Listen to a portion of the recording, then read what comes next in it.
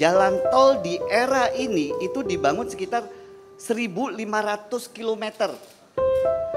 Habis itu kalau dibandingkan dengan periode sebelumnya, tahun 74 sampai 2014 itu 826 km. Ini emang kayak PUPR kurang kerjaan ya, jadi bikin tol banyak banget. Habis itu kalau rata-rata per tahun, di era sekarang jalan tol yang dibangun itu 300 km. Sementara sebelum 2014 itu 20 km. Itu baru jalan tol. Jadi saya nggak mau mengungkapkan di sini karena ntar Pak Bas yang akan menyampaikan itu. Dan saya berbicara ini tol aja segini, habis itu ada jalan baru, ada perbatasan, ada bendungan, ada lintas batas negara. Dan saya mau bilang bahwa ini kemungkinan besar adalah the biggest infrastructure project development in Indonesian history dalam periode lima tahun. Infrastruktur itu bukan urusan masalah membuat jalan tol, membuat airport, membuat pelabuhan atau membuat pembangkit listrik, enggak. Infrastruktur itu yang pertama, cipta lapangan kerja, menciptakan lapangan kerja, infrastruktur.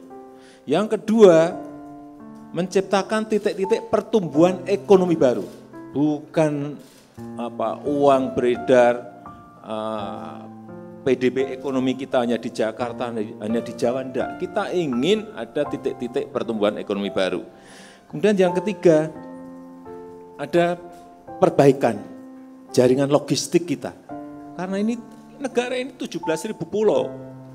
Bapak Ibu bisa bayangkan, 17 ribu pulau yang memerlukan semuanya infrastruktur, sehingga jaringan logistik kita akan menjadi lebih baik. Kemudian ini juga memberikan fasilitas pada produksi, memfasilitasi produksi sehingga uh, infrastruktur yang sudah kita kerjakan lima tahun kemarin harus disambungkan dengan sentra-sentra produksi, baik itu produksi pertanian, produksi nelayan, produksi sentra-sentra uh, industri kecil, kawasan industri harus terhubung ke sana semuanya. Kemudian yang keempat ini juga pelayanan publik. Karena apa pun ada sekolah, tidak ada jalan menuju ke sekolah, bagaimana? Ada puskesmas atau rumah sakit, tapi nggak ada jalan ke sana, bagaimana? Orang akan datang ke sebuah puskesmas. Ini pelayanan publik. Saya berikan contoh yang paling nyata. Misalnya dari Wamena ke Duga. Yang sebelumnya harus jalan kaki, butuh waktu 4 hari 4 malam.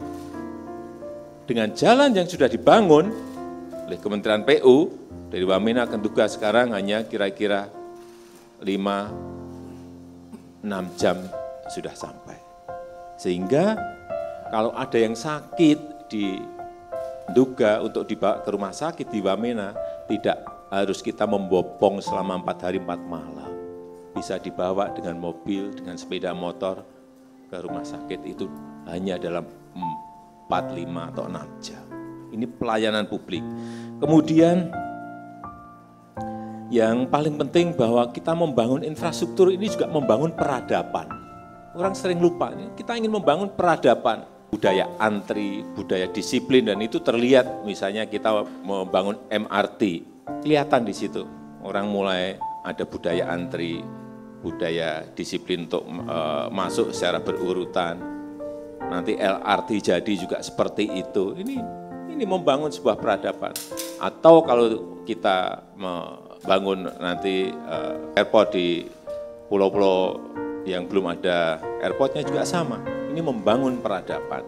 Dan yang terakhir, infrastruktur itu adalah keadilan sosial bagi seluruh rakyat Indonesia, tidak hanya di Jakarta yang dibangun, tidak hanya di Pulau Jawa yang dibangun, tetapi juga seluruh provinsi yang ada di negara ini harus kita sentuh dengan kehadiran infrastruktur-infrastruktur yang kita bangun. Artinya ini infrastruktur artinya banyak sekali. Dan dengan itulah kita nanti memiliki fondasi yang kuat untuk berkompetisi dengan negara lain lewat tadi ukuran-ukuran indeks daya saing, indeks competitiveness yang itu akan terlihat kita di urutan berapa, angkanya berapa.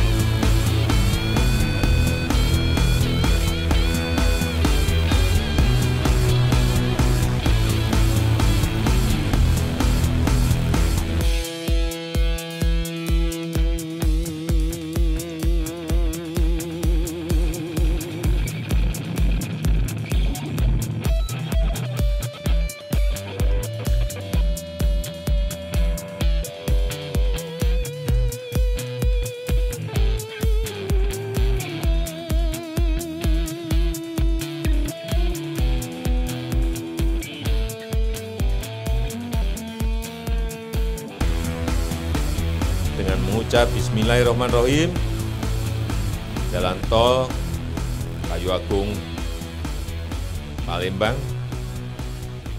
Keramasan, saya resmikan pagi hari ini. Terima kasih. Assalamualaikum warahmatullahi wabarakatuh.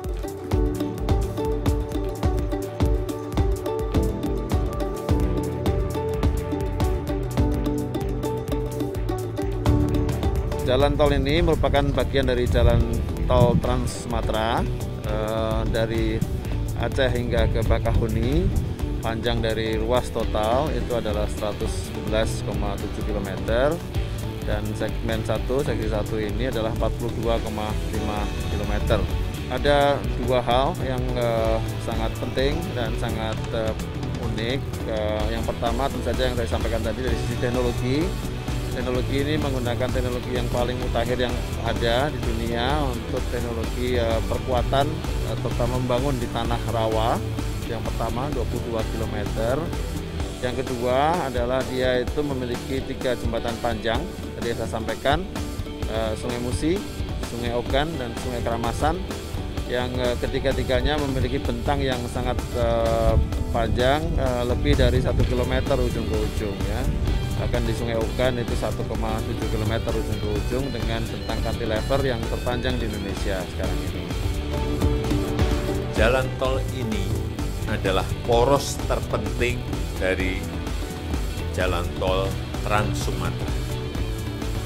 Poros utama, backbone Sumatera bagian selatan. Dengan selesai dan beroperasinya jalan tol ini, jarak tempuh dari Bakauheni ke Palembang yang berjarak 373 km yang biasanya ditempuh, bisa mendengar, biasanya ditempuh 12 jam perjalanan darat. Sekarang hanya perlu waktu 3 sampai tiga setengah jam.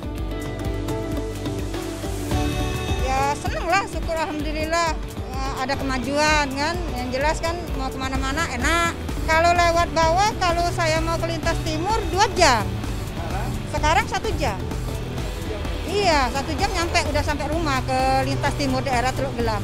Saya ucapkan terima kasih pada Pak Jokowi berkat ada tol ini, ada kemajuan kan, mau ke mana-mana enak. Yang jelas usaha saya bisa hidup. sangat sekali lama dan sangat sekali capek. Ya bisa 10 jam dari Lampung ke Palembang. Berduyun rapat macet ya agak ringan. Lihat jalan bawah tuh tidak macet. Terima kasih banyak pemerintah sudah membangun jalan tol. Untuk pengemudi truk semua senang